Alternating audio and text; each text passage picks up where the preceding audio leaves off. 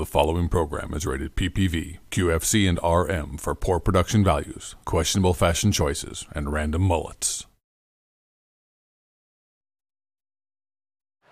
I knew from the time I was five years old that I wanted to be a comedian. I remember I saw Bill Cosby on television, and I said, That is what I want to be. And then my parents told me I could not be black, so I went for the comedy thing. I will be the first to admit it, I had a great childhood. I did not have to worry about things in the Midwest, like, like drive-by shootings. Uh, the, the worst we had to worry about was a walk-by wedgie. hey, hey, hey, hey, hey, hey, hey! Oh, hey, man. See, when you're a kid, life should be divided into four seasons spring, summer, Halloween, Christmas. Those are the big four. Man, when springtime hit in Indiana, I was outside, I was running, I was getting holes in my jeans. Because that's your goal when you're a kid get holes in your jeans. Our goal was by the end of the summer to have so many holes we'd have nothing on but underwear and a belt loop. my mother did not understand this. She kept patching them up with those huge cast iron patches. Know what I'm talking about? They would go from your crotch to your ankle. You could not run. My whole neighborhood, we ran like this.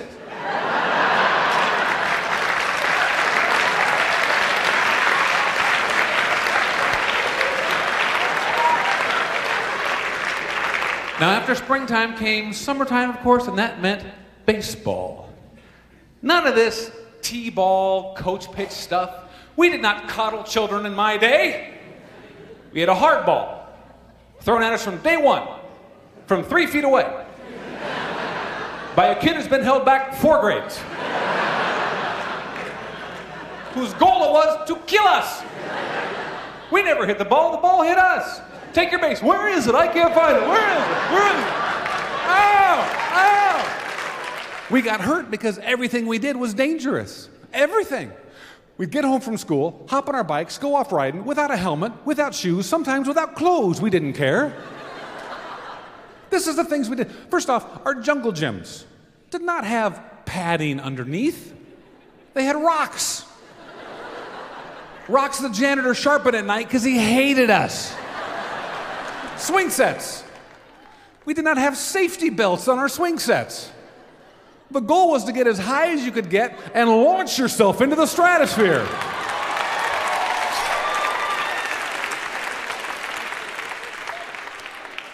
We drove our go karts directly into traffic. We ran through abandoned houses. We ran through creeks. We jumped out of trees with sheets, hoping they were parachutes. We threw lawn darts at each other. Missed. We didn't have any kind of suntan lotion. We had peeling parties. That's what we had. I think you win. We blew up Barbies with M80s. When we got hungry, we ate paint chips. We inhaled a tube of airplane glue every single week. Our Halloween costumes were made out of asbestos, for goodness sake. But for safety, our mothers made us wait an hour after we ate before we swam. My father was the most honest person you'd ever want to meet, except when it came to stories about his childhood. And this was not that walking through 10 miles of snow story. No, no, no, no, no, no, no. That was for amateurs. My father was raised in the Great Depression. We couldn't afford refrigerators, so I sold blocks of ice on my back door to door. These were huge blocks of ice. These were glaciers on dinosaurs were still stuck in the ice on my back. And I made 5 cents a year and I and I shared it with the other 20 families who lived in the one bathroom house and every week we would go out and and help those less fortunate than ourselves which to my mind were lepers and dead people. I couldn't figure out who could be less fortunate than my father's family. He had a story for everything. If I complained about my homework, homework. When I was a boy, we couldn't afford books. I had to go to the library and copy the entire encyclopedia by hand. We couldn't afford paper. I had to scratch it on the back of a sheet of ice and run it home before it melted. this man would not curse in our house because he didn't want to set a bad example. So whenever he got disappointed, he would just hang his head and go, ow, ow, ow, ow. This would last for days. Ah! I, I must admit, I'm the one who disappointed him probably more than anybody else. Remember slime? It was purple, gooey, ooey stuff that served no purpose other than to stain everything it touched. It was the Antichrist of toys. You don't give this to a nine year old boy. Because eventually you think to yourself, I wonder what would happen if I ironed this.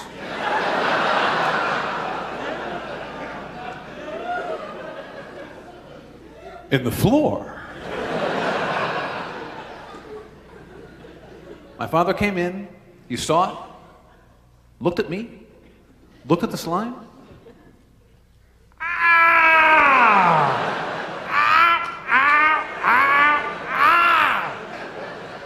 Now, if it had stopped there, I would have been happy. But my father was a big believer in a thing called discipline. Uh, it's almost a concept that's not heard of today. Today it's more like, oh, do you feel badly about burning down the neighbor's house? Do you? Then you go out and play. Not my house. We had one rule obey and live. Very simple.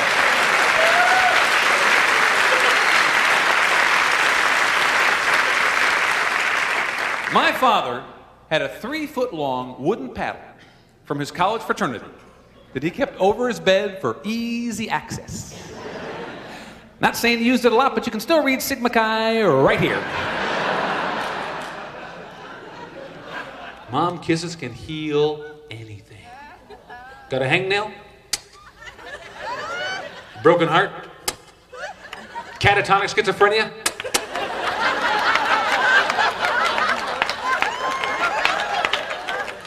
Now, dads can't do this.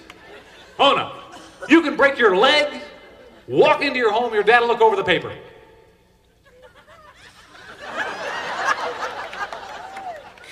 Shake it off. Oh, not mom though. No, I could be across the state playing kickball, get the wind knocked out of me. Wherever mom was, she'd stop. I think Bobby's been hurt. Apron turns into a cape.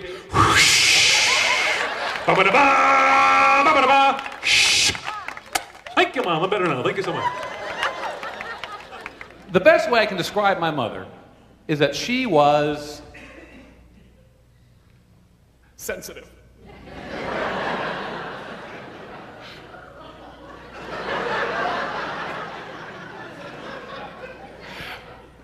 Everything hurts.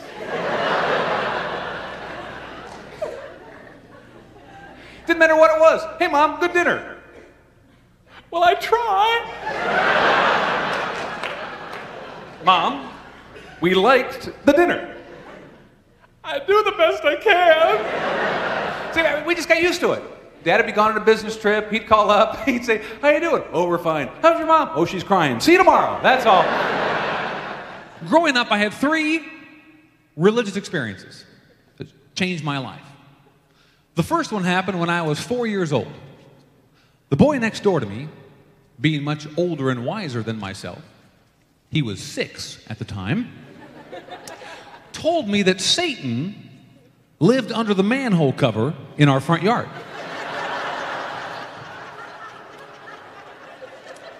and that some night soon he was going to come up and take my entire family down to hell.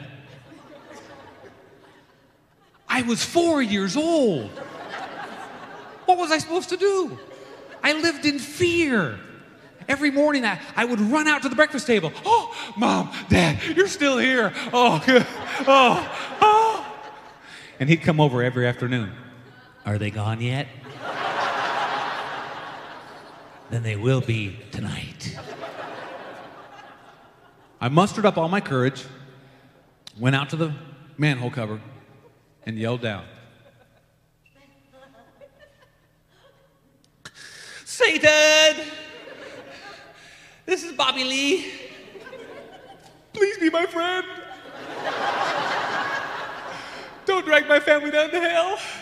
Take the boy next door, he'll fit right in.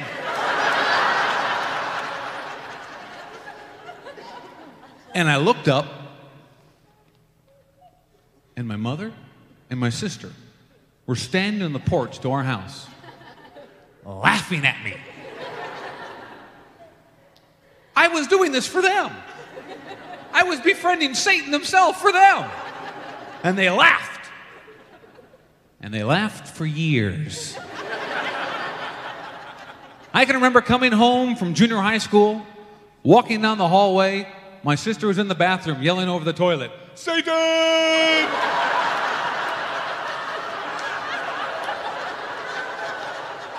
Please be my friend! Don't take my hairbrush down the hill! I loved school. I had so much fun in school, especially the first day. Remember the first day? You got the list. Supply day. First item crayons. Box of 64, sharpener in the back, left them in the car, melted on the dash. Ah,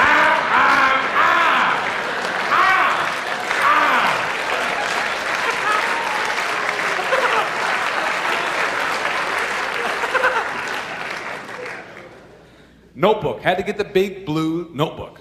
The, the thing had to be Charles Atlas to try and open. Remember that? And those things were so spring loaded. If you put the paper in wrong and it snapped shut on your arm, kids would be running down the hall. Help! Help! Ah! Most useless purchase? Kleenex. I'm in second grade. I have sleeves. Duh.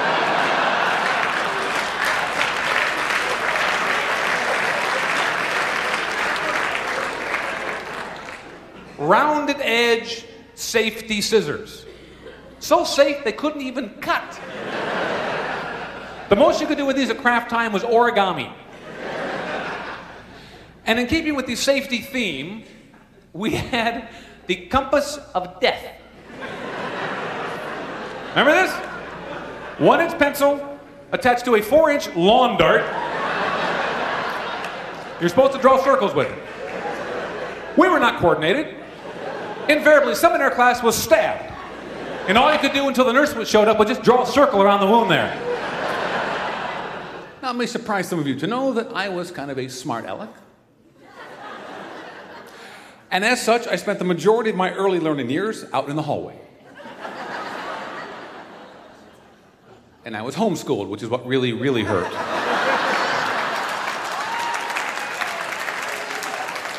now, when I was growing up, Halloween was not evil. It was nice. We had parades, we had picnics. We would go to Woolworths and get our costume for $1.50 tops. One size fit nobody. Remember that? You tied up behind your neck, had a picture of who you're supposed to be on your chest.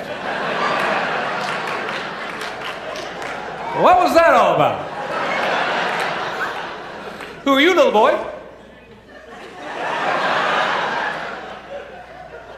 Well, I'm Spider Man. Remember, we had those cheap, cheap, cheap plastic masks? You didn't need the elastic strap because you sweat so much it stuck to your face.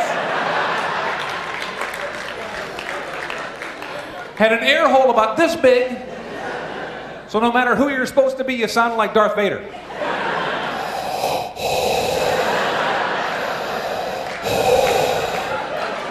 Who are you, little boy?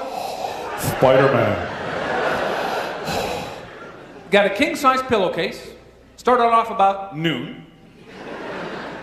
Hit every state in a tri state area. When you got a hernia, you came home. That was Halloween. And then came the best part, and that was trading. And this only worked if you had a younger brother or sister. Because you dump their candy, and you dump your candy, and you negotiate. Hey, you hate milk duds. I remember that. No, you told me that. You hate milk duds. Those are bad. Ooh, Nestle Crunches. Bad for your teeth. Let me help you out there. That's bad for you. Okay. Slow pokes. Ooh, you'll never finish those. Let me take those off your hands here. Hey, hey, you get all of my black stuff. That's yours. That's good eating. All righty.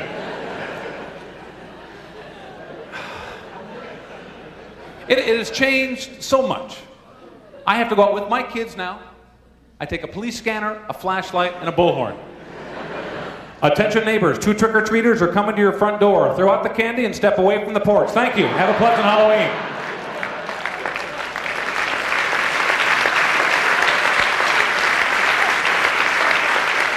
I loved Christmas because we had snow. I'm sorry, if you don't have snow, you're just having Thanksgiving late. But there was something that happened to the parents in the neighborhood. When the first snowfall hit, they would send their children out caroling door to door. What kind of sick tradition is this? Our boots were filled with snow, our mittens frozen solid, we had snot scarves across our face.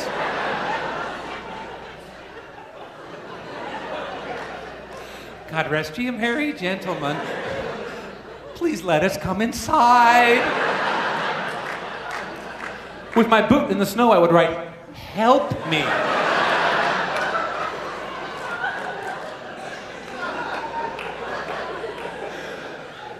I think some of those parents are trying to thin the herd, personally. Grandpa, same gift every year bottle of Old Spice. Never bought a bottle. Went to his medicine cabinet, swiped it, wrapped it up, gave it back to him. One bottle could last years with Grandpa. One year, though, I got creative. Now, maybe you've given this, maybe you have received this. Pencil holder. You get a big old orange juice can. You wrap it in construction paper. You put Merry Christmas and macaroni. I love you in Cheerios. You write your name in glue. You put sprinkles over it. It's a work of art. I wrapped it up, gave it to Grandpa. Forgot that Grandpa's hands shook. When he unwrapped it, he took the construction paper off with it. Did not even look at it. Just, just didn't know what to, just threw it away. I have never seen a more confused man in my entire life.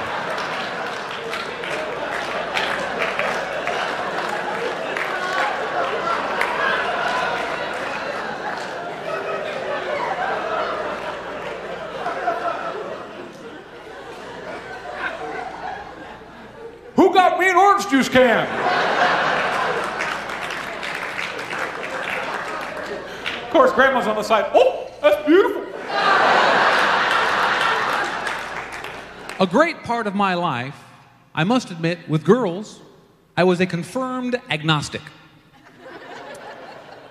I believe they existed, I just had no personal conversion experience.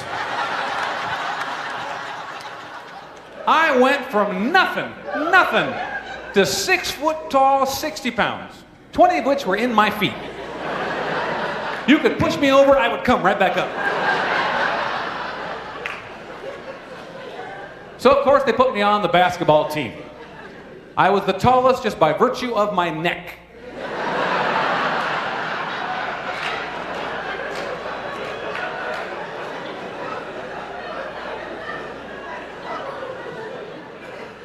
I never got off the bench once. I did not play one single minute of basketball. To this day, if you ask me to play basketball, I will suit up and sit down for two hours. That's just That's just how I play the game.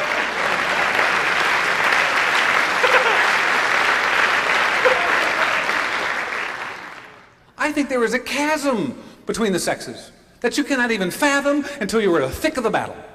I'll give you three examples. Number one, thank you notes. No man alive even knows that these things exist until the day they get married. You give a man a gift, he says thank you if you're lucky, and that's pretty much the end of it. You give a woman a gift, it becomes an emotional Broadway production. Oh. Oh. Oh. then they have to run home and write a thank you note to remind you that they thanked you. My wife always said, Well, why don't you write thank you notes? How will the people know that you like what they got you? And I always say, I didn't give it back, did I? Men are just not made this way. If we wrote thank you notes, it'd come out like this Dear Bill, thank you very much for the lovely barbecue spatula set. I shall think of you every time I sear flesh on the grill. Up to this point, I've been using my fingers and a screwdriver, so this will really come in handy. Sadly, I must return the lovely apron you gave me, as my wife says it makes my hips look big. With fondest affection, Bob. You know, it's just, it's just not us. Been married for 16 years now, and, and, and she's a wonderful, nurturing, caring, loving woman. Now that that's out of the way, let me say something here. she asks me the strangest questions at 2 in the morning when I'm out cold. I just feel this tap on my shoulder, and I hear, Robert? When I hear that, I know I'm dead. Tap again. Robert? What? If you were blind,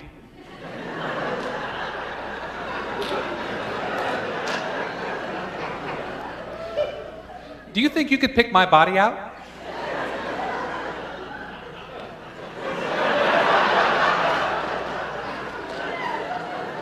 What? Well, how many women are in this contest?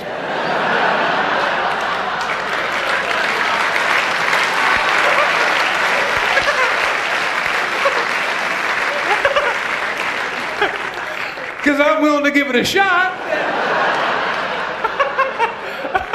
that was the wrong answer. Before marriage, men will go voluntarily to a club and dance. After we get married, legally, we don't have to. now, every time my wife asks me to dance, I go, wait a minute, let me check my schedule. Oh, look, we're still married. Look. So we had to compromise. In my house, that's the art of doing what my wife wanted to do in the first place.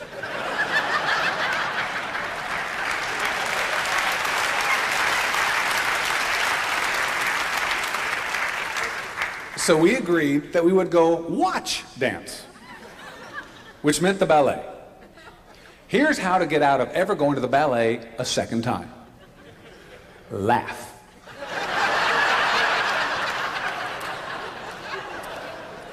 I did not mean to laugh. It just struck me funny. These guys in ballet are not normal. Their butts start up here, okay? That's where they start, right there. You can sit glasses up there and they will stay.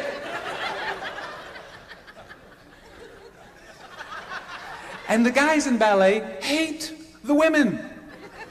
I don't know if they're upset, what's going on, but they're always picking up the women and moving them somewhere else.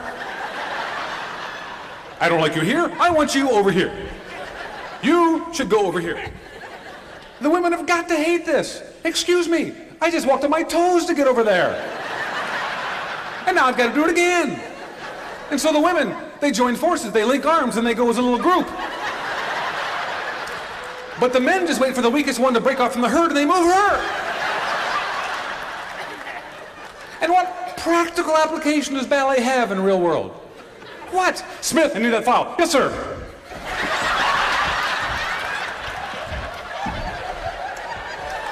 And when they leave ballet, watch this. One arm is always like this. It's always like that. I think they're checking for glasses on their butt. That's what I think they're doing. I've learned a lot.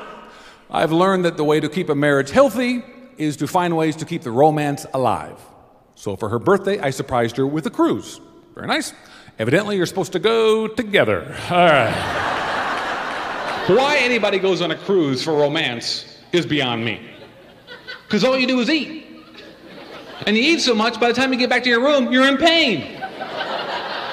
Don't touch me, get away. Ow, oh, oh, get away, get away. Oh, oh I want to die. Oh, oh, what time is it? Midnight buffet. Okay, let's go. I think if you're single and you are looking, life is like a big Easter egg hunt. All the good eggs are taken, and everyone who's left is either cracked or spoiled. I think it's very, very difficult. F. F is for female plumbing. Men, I have, I have two words, two words of advice for you on this. Beware. Do not try to understand what the other half of the species goes through. You cannot. They have a full reproductive system. You do not. You just have a starter set.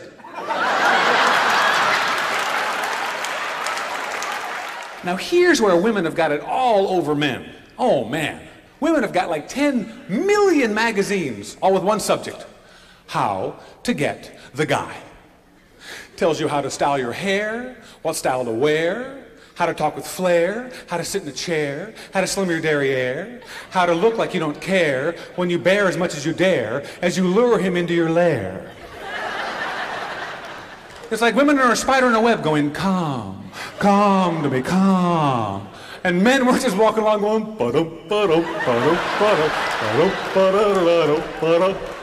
and we hear, come.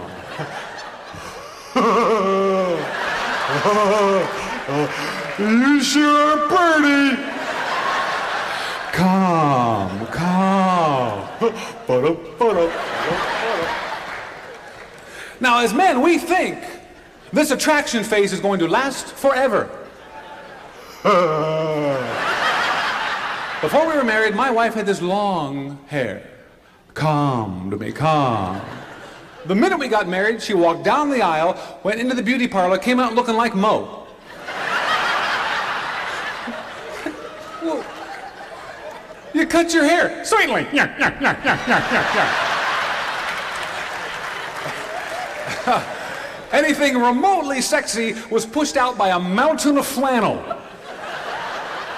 Are you even in there? I, have married a bedspread. Where are you in there? Anytime I tried to get her to dress a little saucy for me, she acted like she was getting a root canal. I was like, fine, I'll be your hunka hunka burning love. One time, I remember this so well. One time she dressed up to the nines. She looked great. She looked so hot, I wrote her a thank you note, really. It meant.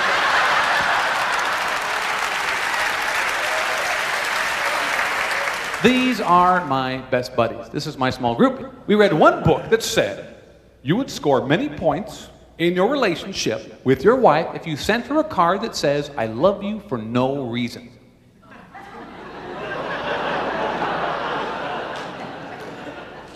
that is a great idea. So we sent out Bill. He went out, got four cards.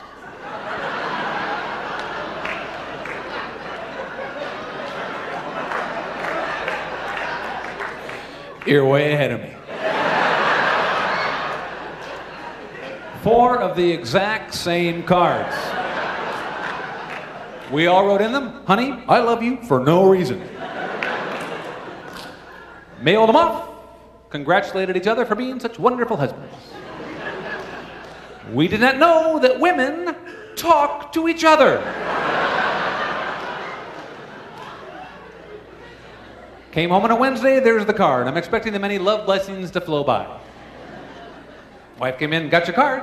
Well, just wanted to say I love you for no reason. We know it's funny?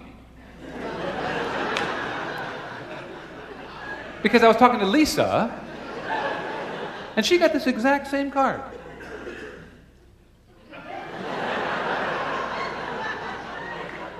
Uh huh.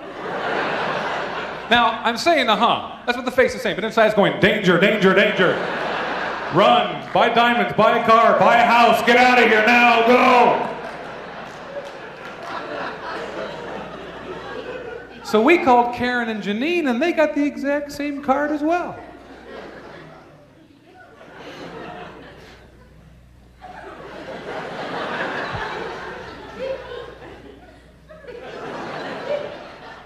Would that be a bad thing?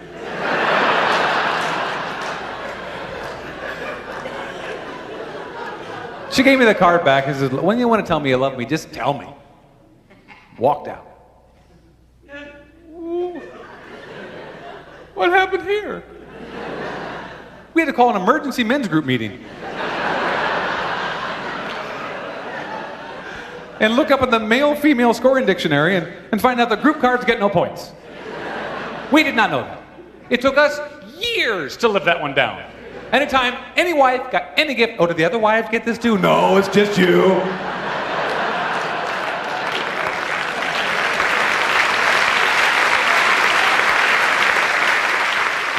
But as much as I love my wife, we almost broke up about a year ago.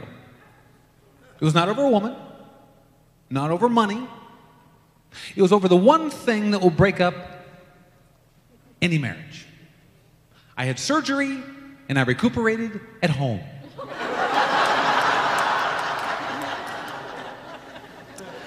About a year ago, I had hernia surgery. I was picking up manhole covers looking for Satan. I strained myself.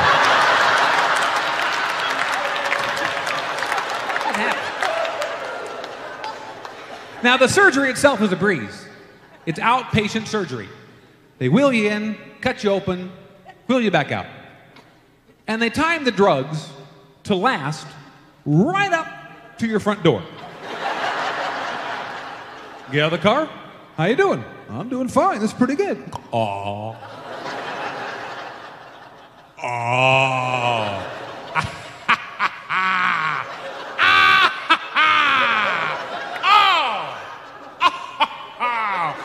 can I do for you? Kill me now! Yeah! I made it into bed safe. I'm going nowhere. This area is closed for repairs. When you have abdominal surgery, breathing is hard, coughing is painful, a sneeze is considered suicide. So I'm not moving. But my doctor told me to drink about 30 gallons of water a day to flush out my system. And when I got to the relieving zone, I was faced with a problem that I never thought I'd have. Basically, it's this if you can't bend over and your pajama bottoms are on the ground,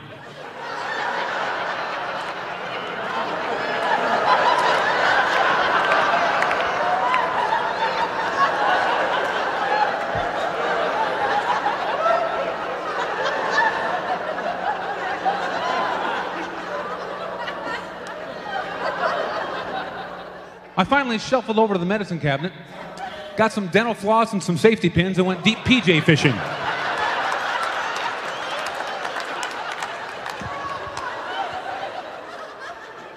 I was pretty proud of myself.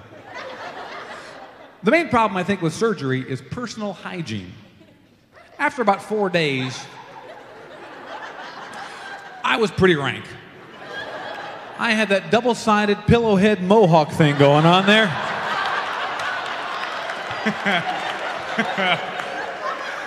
yeah, a Flowbee couldn't go through that hair. It was nothing. Hadn't shaved, hadn't showered, had a lot of dental floss and safety pins hanging from my pajamas. I was basically your stud muffin of love right about now. Give us a kiss. but that didn't bother my wife. It was day five. Day five, I got to shower, I got to shave, I felt human again. I was snuggled up in bed, and I just called for my wife. That's all I did. I just called for my wife. And she snapped. the door flew open.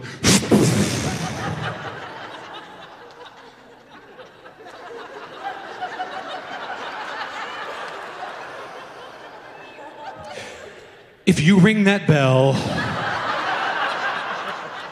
one more time, I will personally rip your stitches out myself.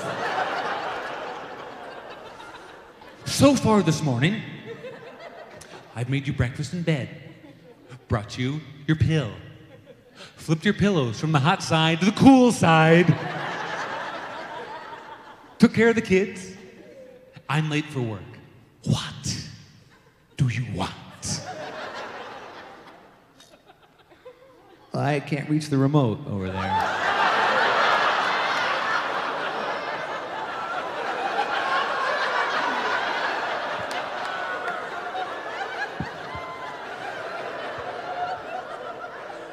We no longer have a remote, just so you know.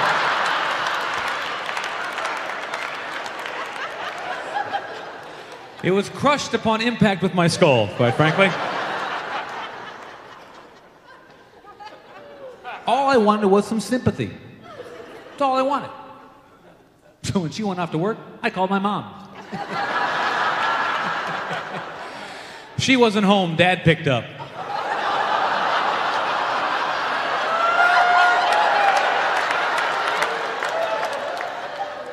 hernia? Why am my dad got a hernia every day? I sewed it up myself and went back to work the next day. What's your problem?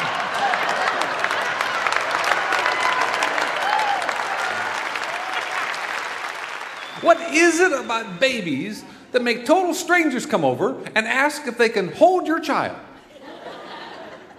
I don't know you. This is the most precious thing in the world to me. Here.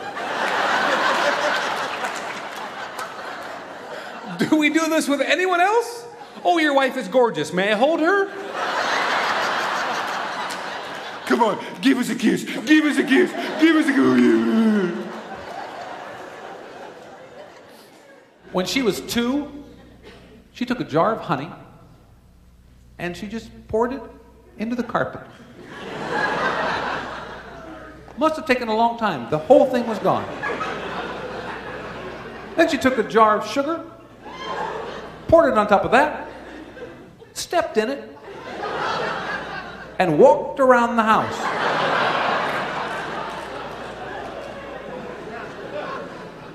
I came in, I looked at it, I looked at her. Ah! Ah! Ah! Ah!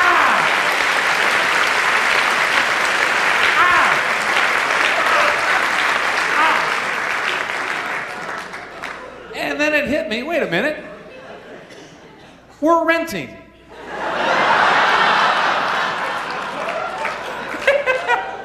Honey, it's time to move again. Sorry.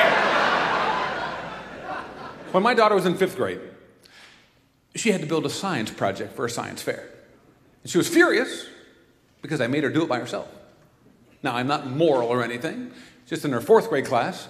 I spent about three weeks putting together a California mission out of sugar cubes, and I only got a C minus on it, so I was not going there again.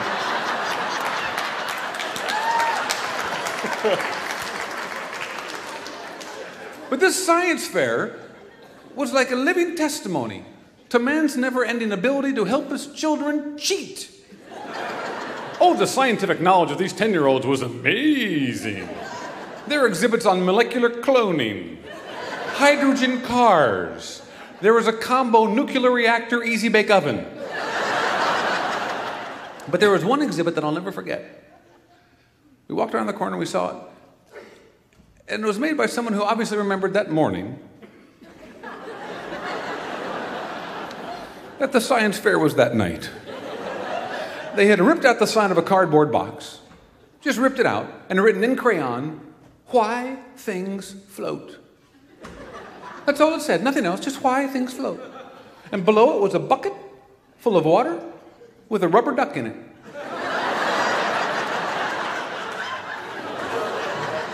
And for some reason, there was no name attached. It was like a shrine to the unknown procrastinator. And from that point on, anytime we ever saw something stupid, we go, that's about as dumb as a duck in a bucket. Look at that right there. My daughter has officially reached the pre-teen stage, otherwise known as teenagerous embarrassmentius. This is where a teenager can actually die of embarrassment. When this happens, certain involuntary reactions occur. The hand comes up, hits the head. The eyes roll back. The spine collapses. and the word dad becomes a four syllable word. Dad. If you can hit all four at once, you win the parental daily double. Dad. My wife and I chaperoned her sixth grade roller skating party. Now, this is where parents are not even allowed to look at their offspring. They're skating, the parents are sequestered off in the corner, huddled in a mass, going, alms, alms for the parents, alms, alms. Well, I broke away from the pack because I'm going to win the parental daily double.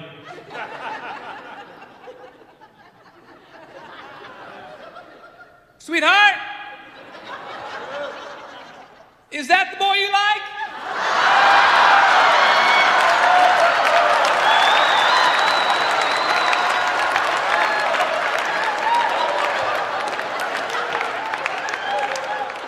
I mean, you think he's cute, really? Oh, um, I, in case you have an accident, I brought some extra underwear for you. Let me find it here. I, I couldn't find Princess Jasmine. Hope the Little Mermaid's okay. She skates away. Dad. The other parents come out. High five. Good job. You won. Good job. High five. There you go. This is what I live for. I am afraid I've warped my children. My son came home one day in third grade and said, Dad, um, everybody else in school, their parents go to a thing called work. And sometimes they don't get home till after dinner. I said, I know, and if you study, that could happen to you. Before Christmas, my daughter was chosen to play Mary at a song in front of church. Now, that's not painful, that's a joy. About two days before the performance, she had braces put on. And they stuck a palate widener up in the roof of her mouth. This is something where they give you a little torture key, and every night, as a parent, you have to crank it back. I love you. Ah! She held it in till she got in the car. And then she just started crying. Goes, Dad, listen to me.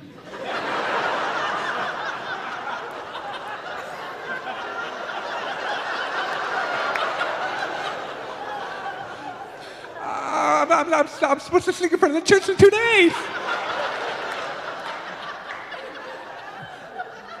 well, maybe by Sunday it'll be okay. Oh, sure. Salutation shepherds. I am Mary, and I am a child, and his name should be called Jesus. Are you serious?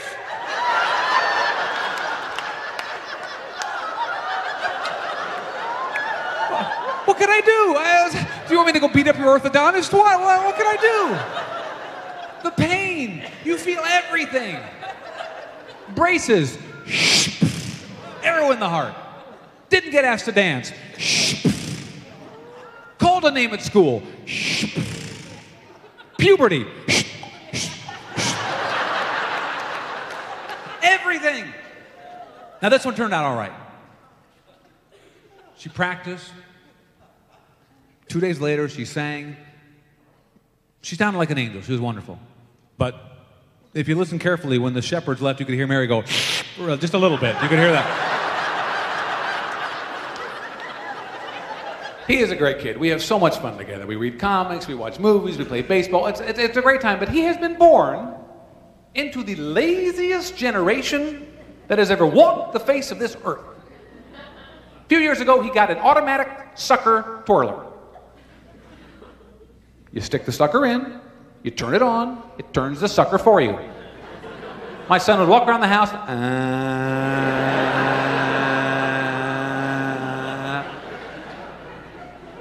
generation so lazy they can't even lick on their own. Private schools drive me crazy because I spend a fortune to keep them in private school. but every other week, they have a new fundraiser.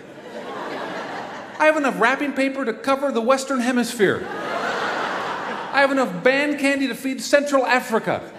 I have Time magazine until Christ comes back. That's what it says on the label, until Christ comes back. Uh, just the other day, I put my daughter in her first apartment. I mean, she's only 10, but we were not getting along at all. She we were not.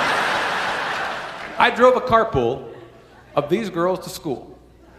I'm making it to heaven on that alone.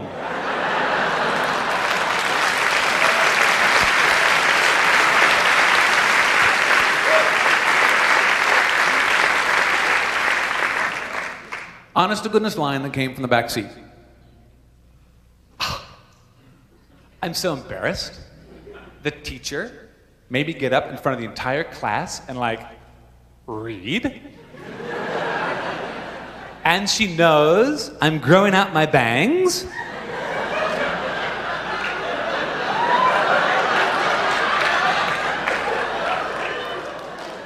and I do not want to be seen. Could you die? that line is like a gauntlet being thrown down because the other girls have to top her now. I know what you mean. That happened to me in first grade because I was the only one intelligent enough to read. I could read when I was two. I could read when I was an embryo. I just looked over at my son and said, Don't ever turn into that. he looked back at me and went, ah.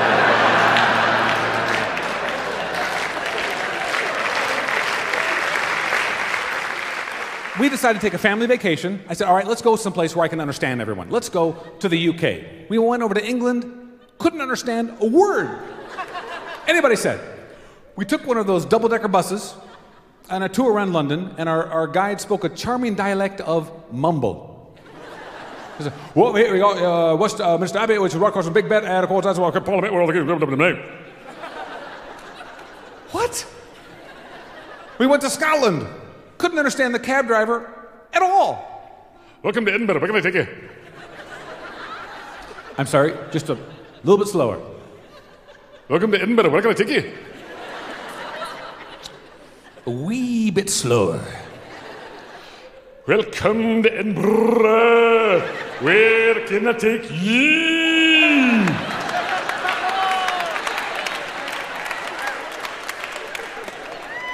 We just walked to the hotel. That was it.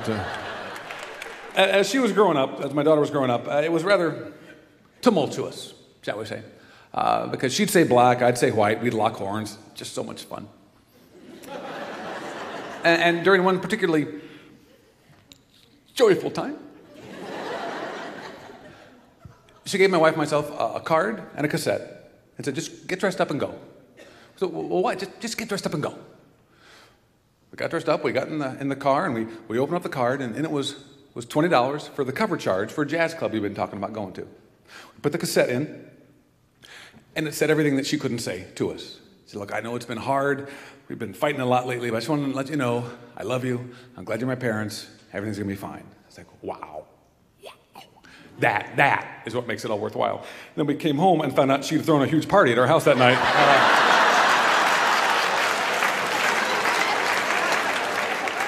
but I was okay because it was so sweet, I thought, what she did. I, am so upset that you work your whole life to get somewhere, and when you finally get there, your hair decides it's not coming with you.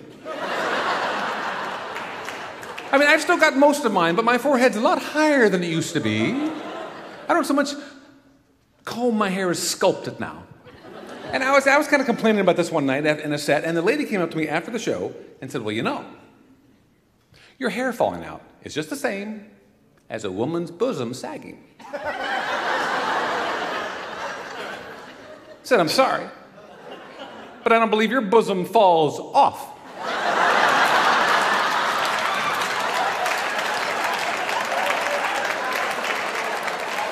I don't believe you wake up in the morning and find a, a bosom on your pillow.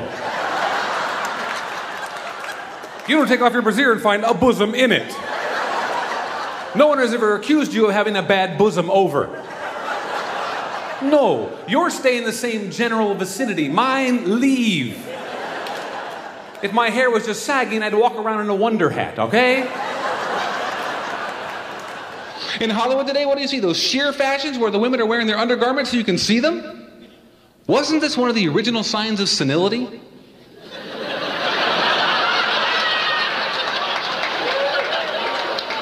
Grandma, the bra and the girdle go on the inside. I'm very curious as to who invented our stuff, but not the big stuff. I don't care about the cars and the phone, that kind of stuff. That doesn't matter to me. I want to know who invented jello and bagpipes. now, it, it may shock you to know that jello, of course, is made from gelatin, but gelatin is made from cow and horse hooves. Who invented that? Bunch of cowboys sitting around going, you know, I'll bet you we've eaten that whole cow. But if we take them hooves, grind them up, add cherry flavoring, sliced bananas, some water, and then freeze it, we got dessert.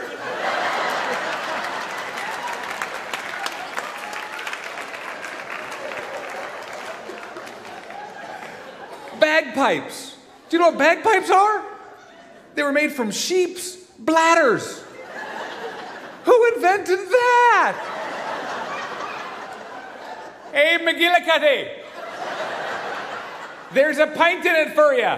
If you'll blow in that sheep's bladder and squeeze it so it sounds like amazing grace.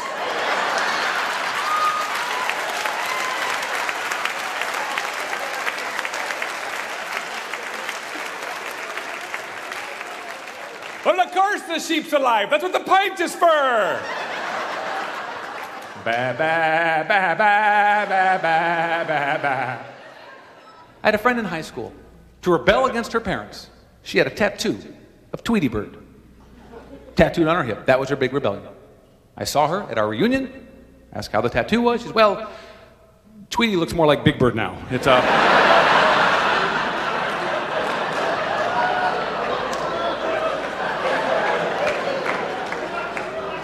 Be careful how you rebel, I guess is the point there.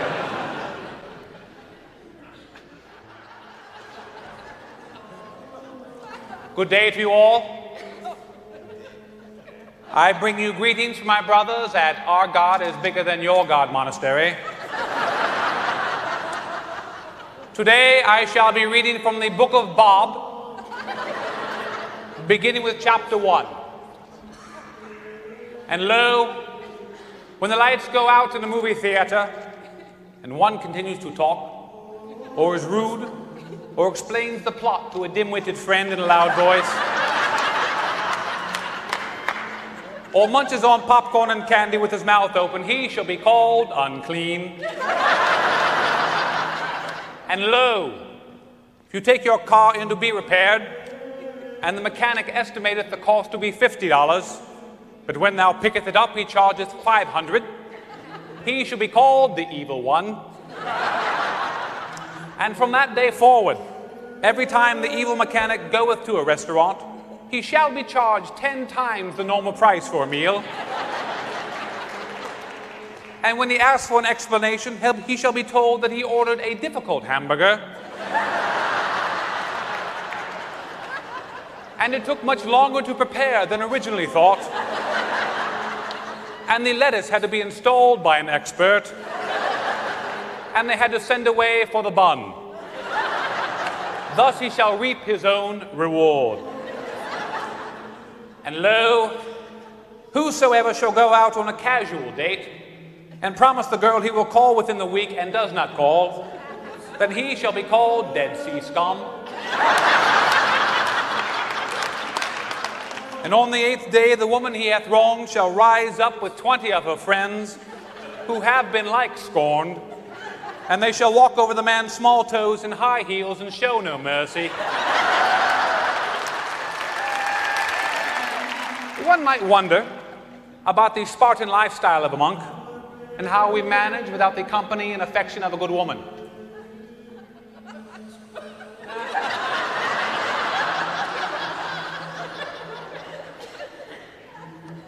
Chapter 4.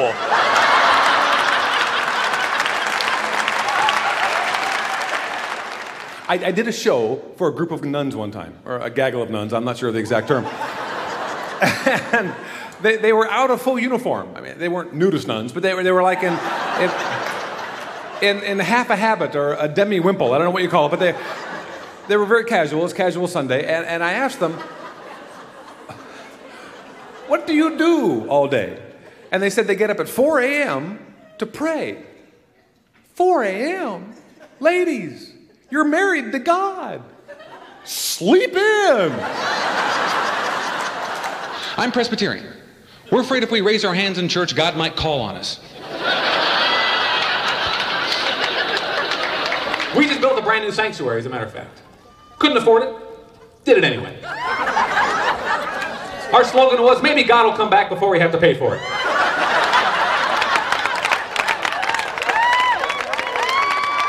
I've spent my life trying to communicate to my daughter, to my son, that God loves them, but in my language, not theirs. As such, I have rewritten the Bible for my daughter and her friends. I'm calling it the I'm All Bible, and I'm going to do a small little portion of it in the New Testament where Peter denies Christ. And they're all, you're with him, and I'm all, nah, and they're all, we like saw you, and I'm all, as if, and they're all, it was you. And I'm all major as if. And then this cock like crowed, and I realized I'd so denied him, so I wept. Whatever. Okay, so that's uh, for my children.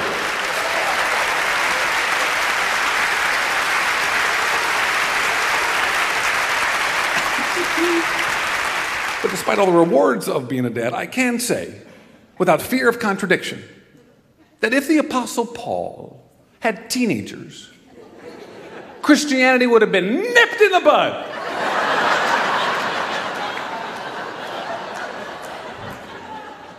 We're going to Corinth again?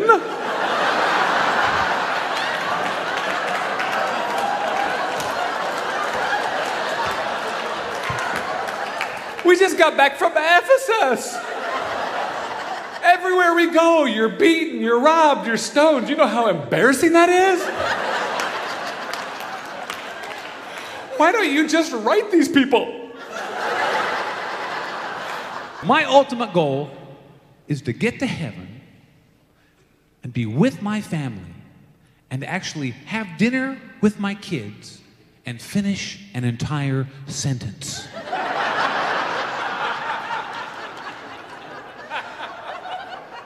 what I can't wait for, and the, the best thing is going to be listening to these stories, all the old stories, because you know everyone's going to try and outdo each other.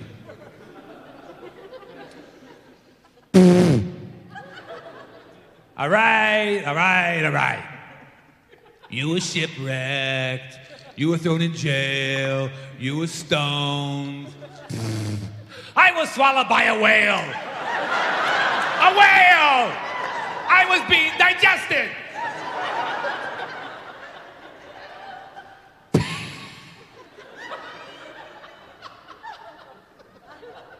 I lost everything I own. My entire family had to scrape boils off my body with a shard of pottery because God made a bet.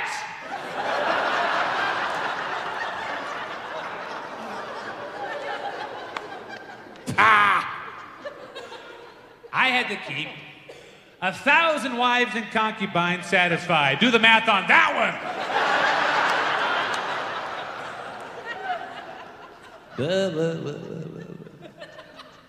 I wandered the desert for 40 years. 40 years. Had nothing to eat but bread off the ground and occasional bird. And every day, a million people would come up to me and say, Are we there yet?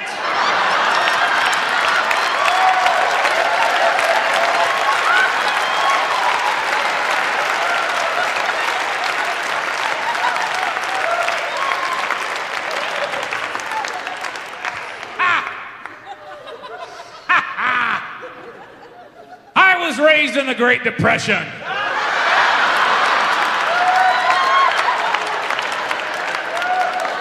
Carried blocks of ice in my back, door to door.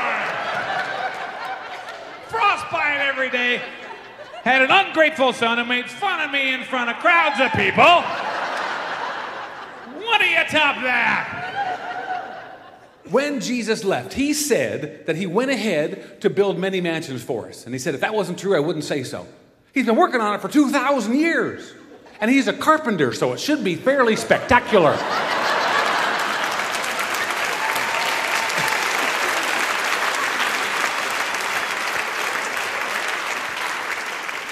Now, obviously, Christianity is, my worldview. That's how I see things. And so it drives me crazy. You just don't know how much it hurts when I hear people trying to demote him. Going, well, no, no, he's a good teacher. That's all, he's just a good teacher. Do we normally kill our good teachers? and Mrs. Smith is Teacher of the Year. String her up! the man claimed to be God. I don't know how many teachers put that on their resume, but I'm thinking the list is pretty small. C.S. Lewis says you got three options. He is a liar, he is a lunatic, or he's the Lord. If you're honest, pick one. But choose wisely. Drives me crazy. Every movie I see makes him out to be such a wimp. No. Historically, you've got to understand that he was a carpenter in the first century, which means he's buff. He's working with wood. He's making oxen yokes. He, he's making doors. He's fastening by hand. He's picking them up. He's walking around. No, our Savior was a stud. if you're going to cast somebody, cast Arnold.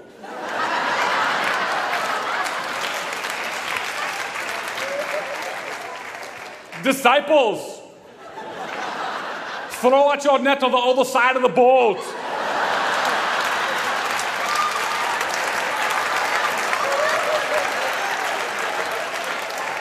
See, now it is filled with fish. I will help you, girl, and bring it in. Many will say to me on that day, Lord, Lord, and I will say, Hasta la vista, baby.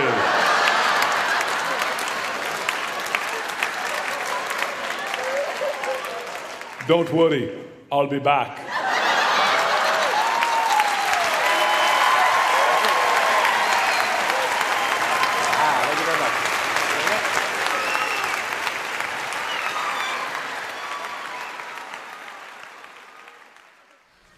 Lord, Lord, we're going to have a baby. I'm 100. Sarah's 90. Let's adopt. I I know you are all wise, but would you want to live with a 90 year old pregnant woman? I don't think so. I. I'll say push. You'll say, I'm tired, you push. Eh, not a good idea. Well, you can knock a man down in a chariot race. I slander my gods all over the place. I'll do anything that you I want to do. But, uh, oh, Moses, lay off of my Jews, or don't you? Rounding out our top 10, we had hail, locust, and who can forget, three days of darkness. Coming up, our number one plague. But first, a request. It goes out to Pharaoh from a man named Moses who writes, Let my people go. Delilah says, stupid is as stupid does. so I'll let her tie me up. And all these Philistines run in, and she says, Run, Samson, run. But I could not because she had given me a haircut, and that's all I have to say about that. Dear God, you delivered me from Goliath, from the jealousy of Saul, made me king over all I survey. I shall worship you as long as the sun rises in the east and sets in the. Oh my goodness, who was that woman taking a bath? Sheba. Oh my, oh my, oh my.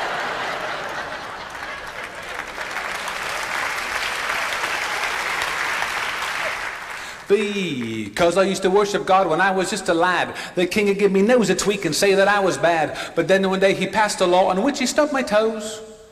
I broke the law and took the fall, and this is how it goes. Oh, me and Shadrach and Abednego were thrown into a furnace. Turn up the heat some seven times, you still will fail to burn us. There's a lesson here for all of us to take to heart and learn us. Always have an angel there when you're thrown into a furnace. I'm diddle little, I'm diddle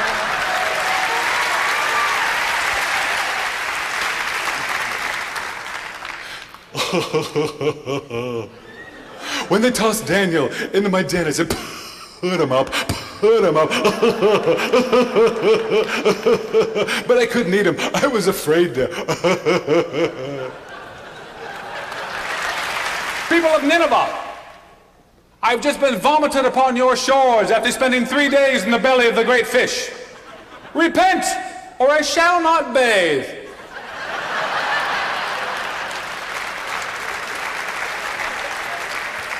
Okay, you were. not, All right, you were not going to believe what just happened. All right, we were out in the fields by night, tending our flocks, which is what we do. When from out of nowhere comes this angel, and it says that our Savior has been born in the city of David. And then this whole host of angels appear. So we run, and we're in the city, and there, there's this little couple in, in a little manger, and there's the baby, there's the Christ child, and this is God. And so we fall down and we worship it, and we go back and we're praising God, and that's when we got back and found out your sheep were missing. I'm really sorry. I have no idea.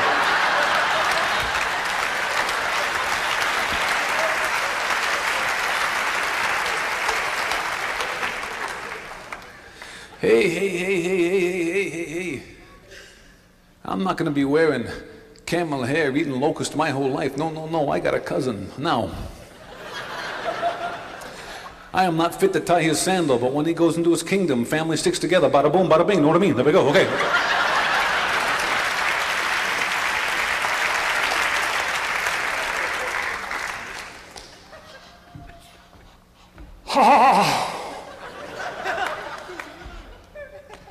He touched my eyes and said, Your sins are forgiven. Wow. And I could see. Wow. And they asked me, Who was that man? And I said, I can honestly say I've never seen him before in my life.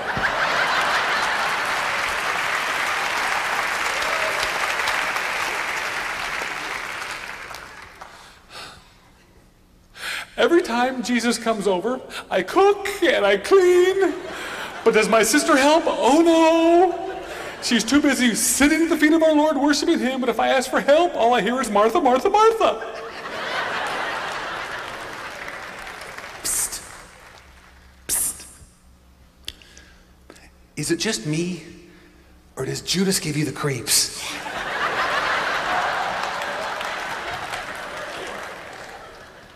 Well, Jesus.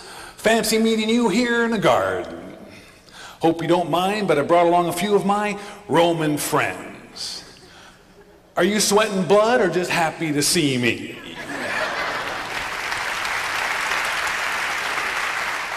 This just in. Jesus of Nazareth, crucified on Friday, is risen from the dead, resting in peace until early this morning when a man of light rolled away the two ton stone in front of his tomb. No, I'm just saying. I, I'm, I'm just saying. Say, well, see, I'm, I'm not going to believe he's alive. Oh, I'll say, I'm not going to believe he's alive until I, until, uh, until I stick my hand in his side and, and my finger. in- My Lord, my God, that's a hole, all right.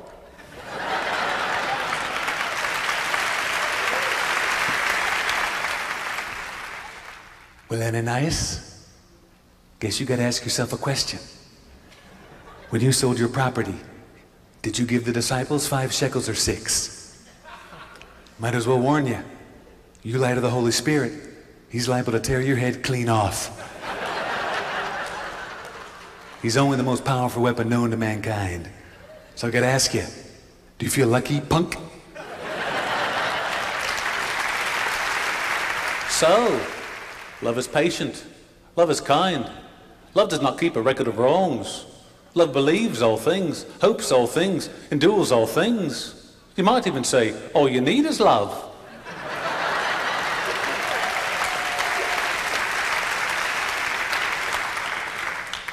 Say, Paul, that's not bad.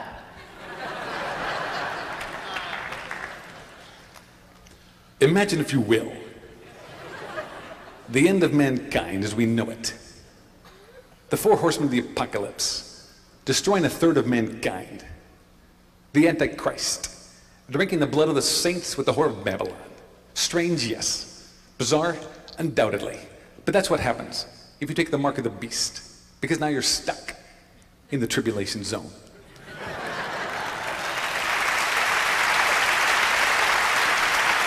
I see streets of gold, red roses too, God's paradise for me and for you. And I think to myself, what a wonderful world. Yes, I think to myself, what a wonderful world. Oh, yeah. That's it.